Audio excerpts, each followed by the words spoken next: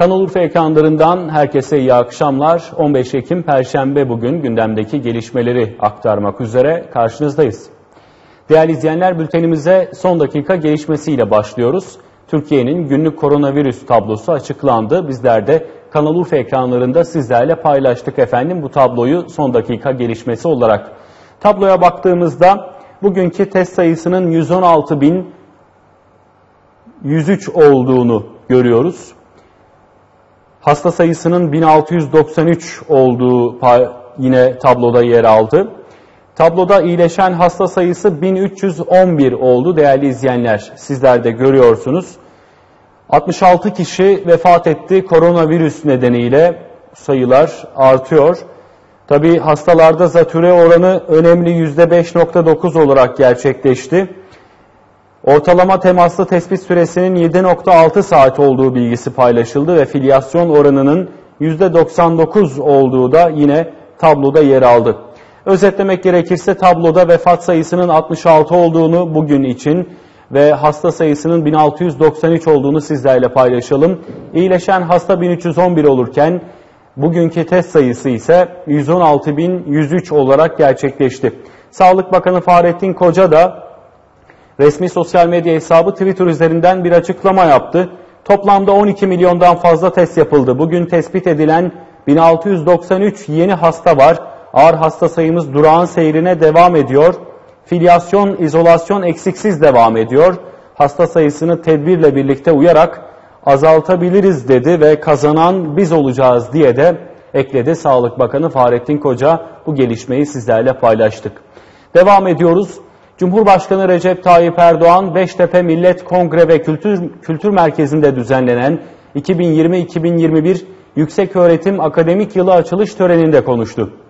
CHP Genel Başkanı Kemal Kılıçdaroğlu'nun erken seçim talebine de değinen Cumhurbaşkanı Erdoğan, Türkiye artık eski Türkiye değil, seçim tarihi belli, 2023 Haziran'da bu seçim yapılacak dedi. Çıkıyorlar, erken seçim. Ne erken seçim ya? Dünyanın hangi gelişmiş ülkesinde belirlenen zamanın dışında bir seçime gidilir? Bunlar kabile devletlerinin yaptığı iştir. Bakarsınız üç ayda bir, altı ayda bir, senede bir seçime giderler. Gelişmiş bir ülkede, gelişmekte olan bir ülkede siz böyle bir şeyi göremezsiniz. Amerika'da böyle bir şeyi görür müsünüz? Batı'da böyle bir şeyi görür müsünüz? Hayır. Türkiye artık eski Türkiye değil. Yeni Türkiye'de belirlenen zaman neyse, ilan edilen zaman neyse, şimdi de 2023'ün Haziran'ıdır ve 2023'ün Haziran'ında seçim yapılacaktır. Onu öne almak filan söz konusu değildir.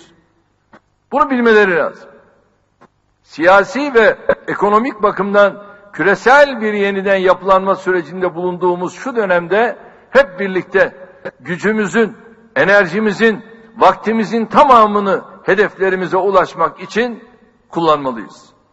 Dönem ne bireysel ne kurumsal taassup dönemi değildir. Hele hele siyaset dışı aktörlerin siyaseti yönlendirme gayretine girişmeleri gibi eski devir alışkanlıklarına milletimizin hiç tahammülü yoktur. Son günlerde bu çerçevede ortaya çıkan tatsız tartışmaları üzüntüyle karşılıyorum. Ülkemizin sorunlarının çözümüne, milletimizin beklentilerinin karşılanmasına hiçbir katkısı olmayan bu tür çıkışların ve polemiklerin takdirini milletimize bırakıyorum. Biz önümüze bakmaya, taahhütlerimizi yerine getirmeye, hedeflerimize ulaşmak için adım adım ilerlemeye, mücadeleyi kararlılıkla sürdürmeye devam edeceğiz. İnşallah 2023 yılında büyük ve güçlü Türkiye'nin inşası yolunda önemli bir aşamayı daha geride bırakmış olacağız. Ve bir taraftan sismik araştırmalar yapıyoruz. Bir taraftan sondaj çalışmalarını yapıyoruz. İnşallah cumartesi günü evet bu sondaj gemimizle birlikte yapılan çalışmaları bizzat gemide ilgili arkadaşlarımla beraber ben de takip edeceğim. Temenni ederim ki yeni müjdeler oradan tespit eder ve açıklarız. Sağlık Bakanı Fahrettin Koca, Koronavirüs Bilim Kurulu toplantısı sonrası yaptığı açıklamada Dünya Sağlık Örgütü'nün açıklamalarından kesitler sundu. Bakan Koca, yapılan bazı araştırmalar koronavirüs tedbirlerinin grip ve benzeri enfeksiyonları %35 civarında, diğer bazı araştırmalarsa en az yarı yarıya azalttığını ortaya koymaktadır dedi.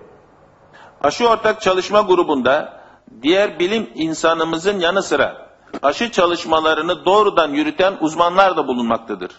Türkiye'nin aşı çalışmaları bu bilim insanlarına bağlı 600 kişilik bir ekip tarafından sürdürülmektedir. Ortak çalışma grubumuz şu anda 4 farklı aşı üzerinde çalışmaktadır. Bunun dışında şu anki sonuca aynı derecede yaklaşmış olsa da başka çalışmalar da vardır. Aşı çalışmalarını yürüten ekiplerimiz sonuca en kısa zamanda ulaşmak için rekabet içinde birbirinin başarısı içinse dayanışma içindedirler. Şu an aşılardan ikisi insan deneyleri aşamasına yakındır. Covid-19 aşı çalışmaları Sağlık Bakanlığımızın himayesi altındadır. Bakanlığımıza bağlı TÜSEP ile bilimsel ve teknolojik araştırmalarda ülkece gurur duyduğumuz TÜBİTAK bu çalışmaların öne çıkan aktörleri arasındadır.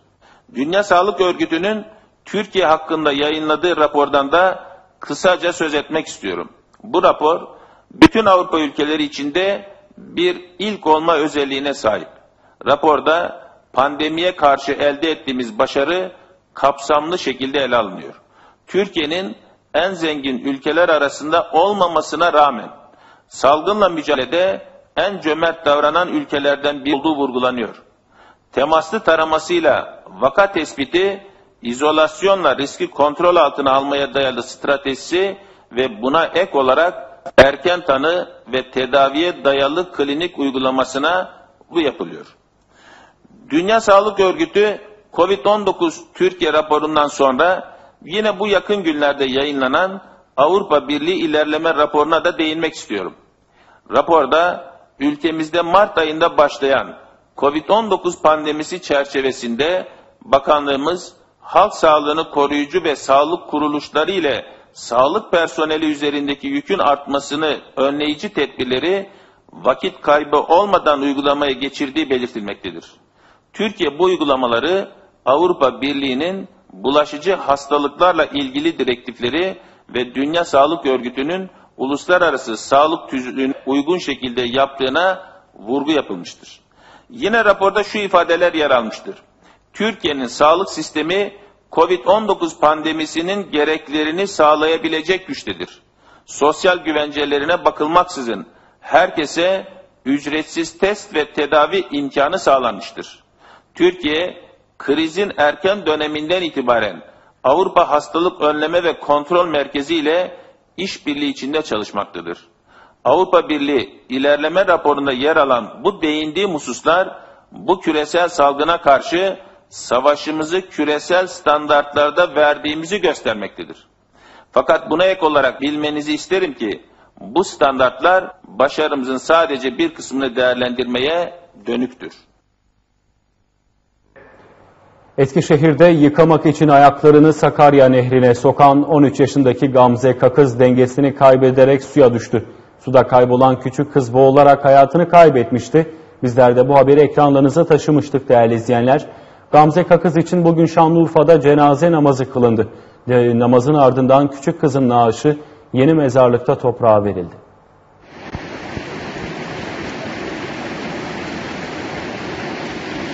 Olay 14 Ekim'de Eskişehir'de yaşanmış. Şanlıurfa'dan mevsimlik işçi olarak Günyüzü ilçesi Doğray mahallesine gelen ailelerden birinin 13 yaşındaki kızları Gamze Kakız, ayaklarını yıkamak için Sakarya Nehri kıyısına geldiği sırada dengesini kaybederek suya düşmüştü. Yaklaşık bir saat süren arama çalışmalarının ardından Gamze Kakız'ın cansız bedeni bulunarak sudan çıkarılarak savcılık ve jandarma ekiplerinin incelemesinin ardından küçük kızın cansız bedeni hastane morguna kaldırılmıştı. Küçük Gamze'nin cenazesi memleketi Şanlıurfa'ya getirildi.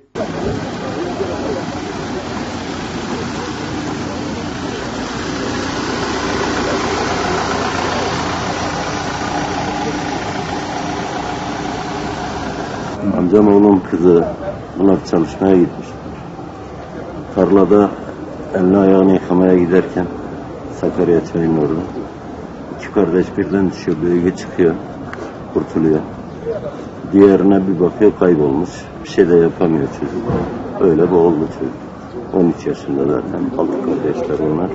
Ya, okula gidiyorlardı ama çalışmak için şeye gitmişler. Ya, patates, soğan, tarım işçileri. Boğularak hayatını kaybeden Gamze Kakız, bugün Şanlıurfa'da kılınan cenaze namazının ardından yeni aile mezarlığında toprağa verildi. Allahu Ekber. Allahu Ekber. Allahu Ekber. Allahu Ekber. Esselamu Aleyküm ve Rahmetullah. Esselamu Aleyküm ve Rahmetullah. Billahi Teala'l-Fatiha.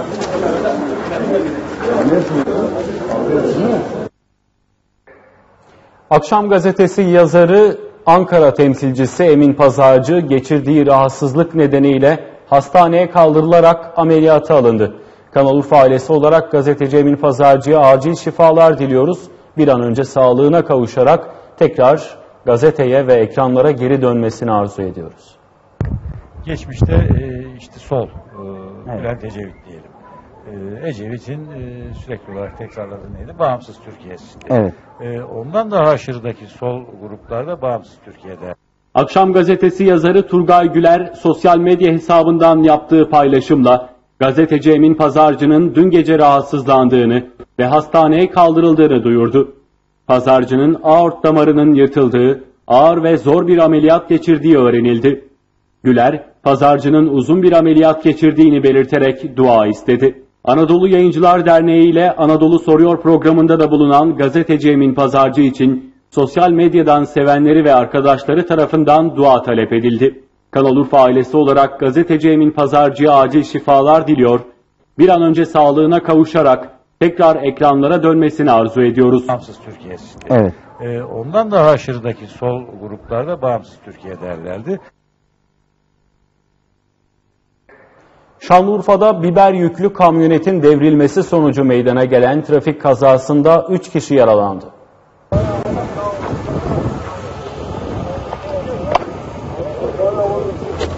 Edinilen bilgiye göre kaza Şanlıurfa-Mardin karayolunun 50. kilometresinde yaşandı. Sürücüsünün ismi ve plakası öğrenilemeyen kamyonet düz yolda kontrolden çıkarak takla attı.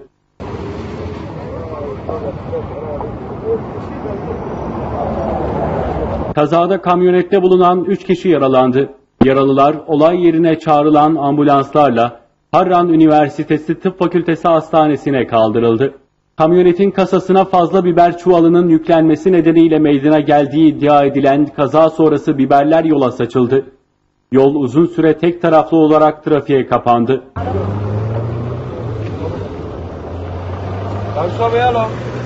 Biberler kaldırıldıktan sonra yol yeniden trafiğe açılırken kazayla ilgili soruşturma başlatıldı.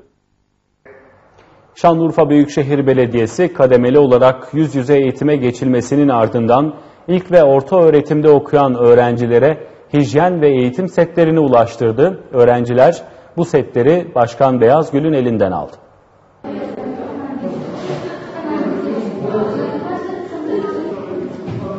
Şanlıurfa ve ilçelerinde tüm okullarda daha önce dezenfekte çalışmalarını titizlikle sürdüren Büyükşehir Belediyesi, bu hafta okulların yüz yüze eğitime başlamasıyla birlikte maske, kolonya, dezenfektan, mendil ve okul gereçlerinin yer aldığı hijyen ve eğitim setlerini öğrencilere ulaştırdı. Hijyen ve eğitim setini öğrenciler Başkan Beyazgül'ün elinden aldı.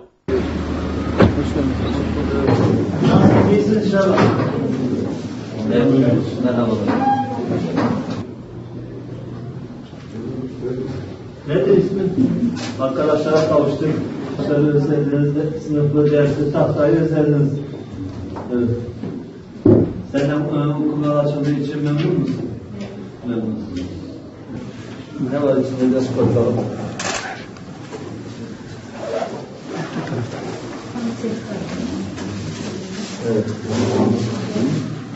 Büyükşehir Belediye Başkanı Zeynel Abidin Beyazgül, Eyyubiye ilçesinde Doktor Cavit Özyek'in ilk ve ortaokulunda düzenlenen etkinlikte öğrencilere maske ve mesafe ile ilgili önemli nasihatlerde bulunarak onlara hijyen ve eğitim setlerini dağıttı. Covid-19 salgınının tüm dünyayı tehdit etmeye devam ettiğini belirten Başkan Beyazgül, Büyükşehir Belediyesi olarak bununla mücadelenin devam ettiğini kaydederek öğrencilere pandemi sürecinde daha dikkatli olmalarını istedi. Okulların açılmasından. Evet. Özlemiş miydiniz? Evet. Arkadaşlarımızın bir kısmı var, bir kısmı burada. Arkadaşlarınıza kavuştunuz, öğretmeninize, okulunuza, kitabınıza, derslerinize. Hepsi çok güzelmiş değil mi? Hadi bakalım, Allah beyin açıklığı versin. Başkan Beyazgül yaptığı yazılı açıklamada maske, sosyal mesafe ve temizlik noktasında çalışmalarımızı sürdürüyoruz. Toplum olarak tedbirlerimizi aldığımız zaman bu illetten inşallah kurtulacağız. Dikkatli olmaya devam etmeliyiz. İnşallah bir an önce bu salgından tüm insanlık kurtulmuş olur dedi. Sınıfları teker teker dolaşarak yeni eğitim ve öğretim yılının öğrencilere hayırlı olması temennisinde bulunan Başkan Beyazgül, öğrencilerle bol bol sohbet etti. Aferin maşallah. Çok güzel. Sen bakalım söyle. Ne polisi? Yunus polisi. Motosiklete bineceksin değil mi? Peki. Sen? Doktor. İnşallah. Hadi bakalım. İleride sahip olmak istedikleri meslek gruplarını öğrenen Başkan Beyazgül'e, hijyen ve eğitim setlerinden dolayı teşekkür eden öğrencilerin mutlulukları gözlerinden okundu. Başkan Beyazgül dağıtımın ardından okul idarecileri ve öğretmenleriyle bir araya gelerek bir süre fikir alışverişinde bulundu. Etkinlik okul önünde çekilen hatıra fotoğrafıyla sona erdi. Eyyubiye Belediye Başkanı Mehmet Kuş, Eyyubiye Belediyesi gençlik merkezlerindeki spor salonlarında sportif faaliyetlere katılan öğrencilerle bir araya geldi. Başkan Kuş salona gelen ve gözlerindeki sorundan dolayı rahatsızlık yaşayan bir genci görüp tedavi masraflarını kendi cebinden karşılayacağını belirtince salondaki öğrenciler tarafından alkışlandı.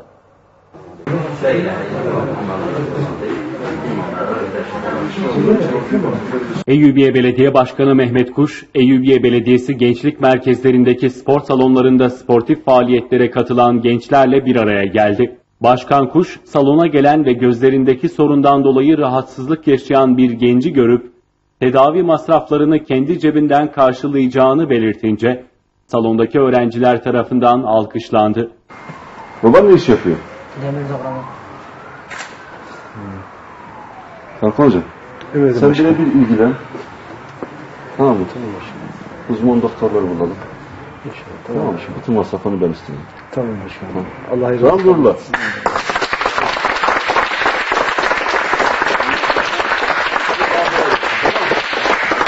Gençliğe yaptığı yatırımlarla kamuoyunun takdirini toplayan Eyyubiye Belediye Başkanı Mehmet Kuş, Eyyubiye Belediyesi gençlik merkezlerinde spor salonlarında sportif faaliyetlere katılan gençlerin çalışmalarını izledi.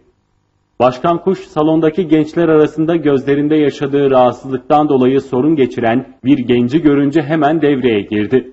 Gencin tüm tedavi masraflarını cebinden karşılayacağını belirten Başkan Kuş, salondakilerin takdirini topladı. Gençliğe yatırımlarının hızlı bir şekilde devam edeceğini belirten Başkan Kuş, spor salonları sayısının da artacağı müjdesini verdi. Gençlerin geleceklerinin teminatı olduğunu vurgulayan Başkan Mehmet Kuş, özellikle Eyyubiye'de yaşayan ailelere, anne ve babalara çocuklarını bizlere emanet etmelerini istirham ediyorum dedi. Gençler bizim geleceğimiz, gençler bizim umudumuz. Özellikle Eyyubiye'de, Eyyubiye'de yaşayan ailelere, annelere, babalara çocuklarını bizlere emanet etmelerini istirham ediyorum.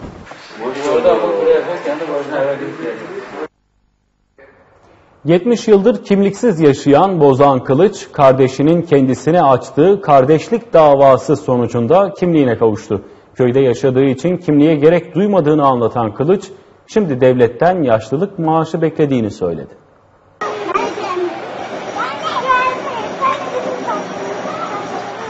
Gaziantep'te yaşayan Şanlıurfalı Bozan Kılıç'ın 70 yıllık kimlik hasreti uzun hukuk mücadelesinin ardından son buldu. Kılıç'ın çocuklarının babalarına kimlik çıkarmak için resmi kurumlara yaptıkları başvuruların tümü sonuçsuz kalınca bu defa mücadeleyi hukuki yollardan sürdürme kararı aldı.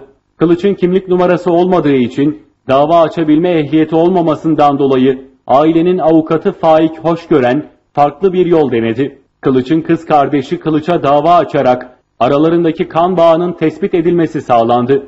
İki yıllık dava sürecinin ardından Adli Tıp Kurumu raporuyla kardeş oldukları tespit edilince Bozan Kılıç kimliğini çıkarabildi. 60 yaşında bir kişinin kimliği yoktu.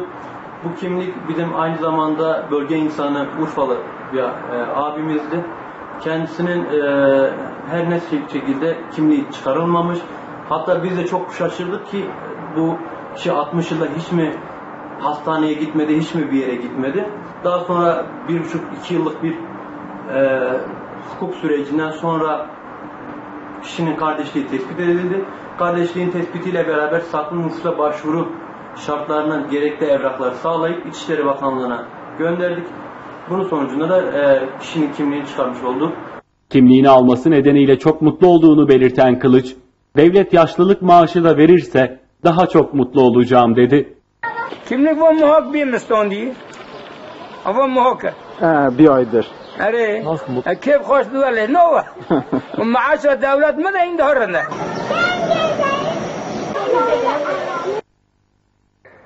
Haliliye Belediye Başkanı Mehmet Can Polat sahada devam eden çalışmaları yerinde incelemeyi sürdürüyor. Bu kapsamda Karşıyaka Mahallesi'ne giden Başkan Can Polat hem vatandaşlarla bir araya geldi hem de yapımı devam eden 5 parkta incelemelerde bulundu.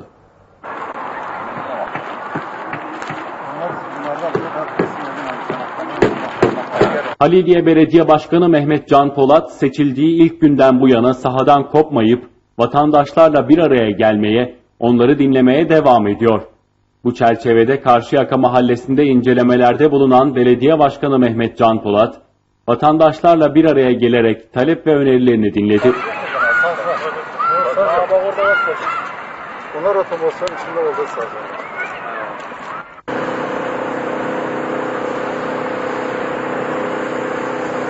Ardından mahallede yapımları devam eden 5 yeni parkta incelemelerde bulunan Başkan Can Polat, çalışmalarla ilgili yetkililerden bilgi aldı. Başkan Can Polat'a Belediye Başkan Yardımcısı Mehmet Emin Aslan ve birim amirleri eşlik etti.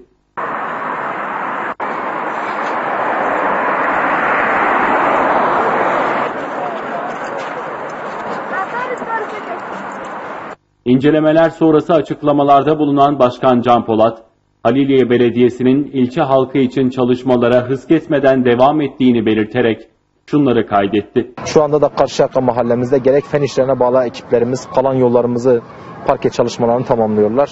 Gerekse Park Bahçe Müdürlüğü'ne bağlı ekiplerimiz de şu anda Karşıyaka mahallesinde yaklaşık 5 tane parkta hummalı bir şekilde çalışıyorlar. Haliliye güzelleştiği gibi Karşıyaka da güzelleşiyor, güzelleşmeye devam edecek. İnşallah hep birlikte vatandaşlarımıza el ele verdik mi e, Haliliye için daha müreffeh yarınlar bizleri bekliyor olacaktır. Burada konuşan Karşıyaka Mahalle Muhtarı Hadi Taş'tansa belediye başkanımız Mehmet Can Polat'a şahsım ve mahallem adına teşekkür ediyorum diye konuştu. Mehmet Can Polat Bey'e ben burada şahsım ve mahallem adına başkanıma çok çok teşekkür ediyorum. Allah razı olsun diyorum. Karşıyaka mahalle sakinleri ise Haliliye Belediyesi'nin çalışmalarını takdirle karşıladıklarını belirtti. Başkan Can Polat ve beraberindekiler incelemelerinin ardından bölgeden ayrıldı.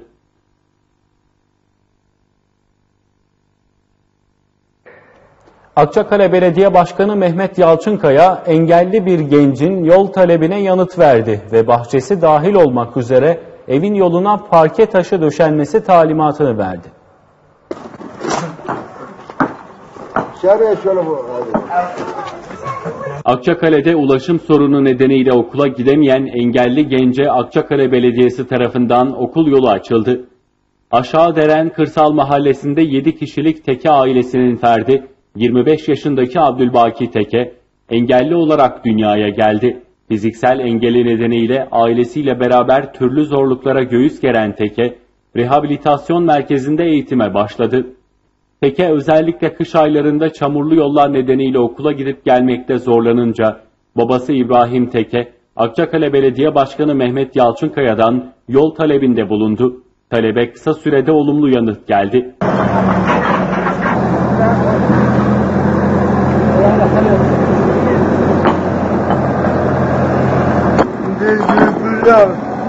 Başkan Yalçınkaya Fen İşleri Müdürlüğü'ne ailenin bahçesi dahil ev yoluna parke taşı döşenmesi talimatını verdi.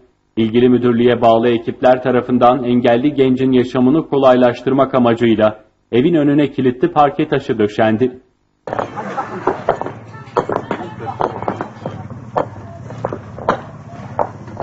Baba Teke artık oğlunun okula gidebileceğini belirterek Başkan Yalçınkaya'ya şu sözlerle teşekkür etti. Oğlum 25 yaşında engelli, doğuştan engelli. Okula gidip gelmediği için belediye başkanımıza müracaat ettik. Sağ olsun belediye başkanı yolumuzu yaptı. Kışın oğlum şimdi bundan sonra rahatça okula gidip geliyor. Gördüğünüz gibi yolumuz budur. Yazın toz, kışın çamur. Allah razı olsun başkanımızdan.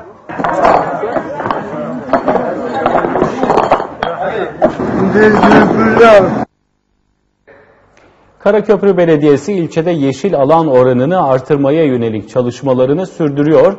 Mehmetçik Mahallesi'nde 9000 metrekare alan üzerinde yeni park yapılırken kısa sürede tamamlanıp vatandaşların hizmetine sunulacak.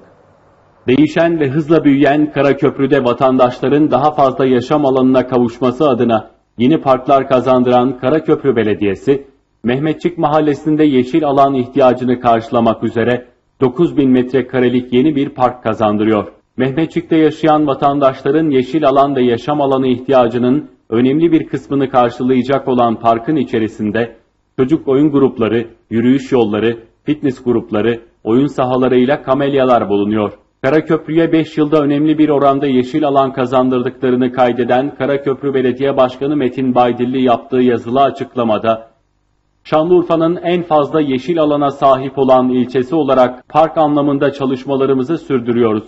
Ekiplerimiz yeşil alan ihtiyacı olan tüm mahallelerimize yeni parklar kazandırıyor. Mehmetçik mahallemizde de oluşan ihtiyacı karşılamak üzere 9000 metrekare alanda bir park yapıyoruz. Bunun dışında da Seyrantepe ve Akpiyar mahallelerinde toplam 12.500 metrekarelik yeşil alan kazandırdık. Şu anda yapımı devam eden 3 adet parkımız da bulunuyor. Bunlar da tamamlanınca yaklaşık 12 bin metrekare yeşil alan daha kazandırmış olacağız. Parklarımız tüm vatandaşlarımıza hayırlı olsun ifadelerine yer verdi. Öte yandan Karaköprü Belediyesi Park ve Bahçeler Müdürlüğü tarafından ilçede ihtiyaç olan mahallelerde yeni yeşil alan yapılması için çalışmalar yürütülüyor. Şanlıurfa'da Büyükşehir Belediyesi açık havada müzik günleriyle arabada sinema etkinliği düzenledi.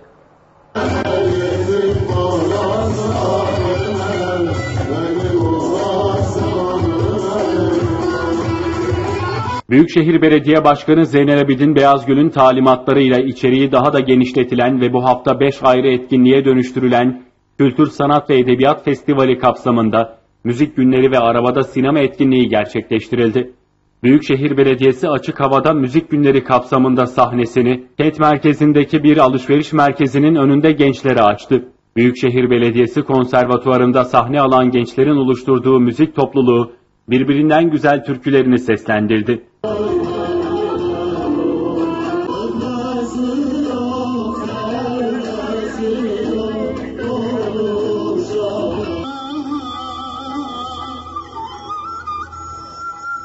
Geçtiğimiz hafta sonu tarihi Gümrükhan'da ilk konserini veren gençlerin performansı Şanlıurfalıların beğenisini topladı. Büyükşehir Belediyesi gelen talepleri dikkate alarak geleceğimiz olan gençleri her yerde müzik günleri etkinliği kapsamında tekrar Şanlıurfalılarla buluşturdu.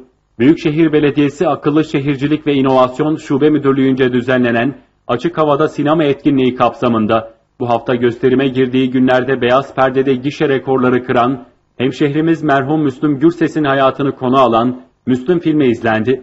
Çıraklığa devam edecek misin? Hani bitirecektim ben bu seneyi dayı? Paralanmış gitmiş oğlum kadın nedir? Üç kuruş kazanacağım diye.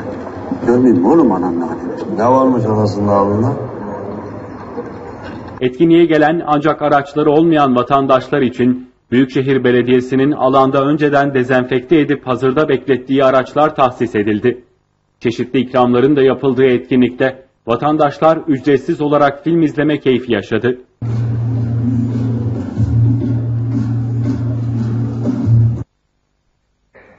Bu haberle Kanal Urfa'da ana haber bültenini noktalıyoruz. Yarın akşam saatler 19.30'u gösterdiğinde güzel haberler aktarmak üzere karşınızda olmayı diliyoruz. İyi akşamlar efendim, hoşçakalın.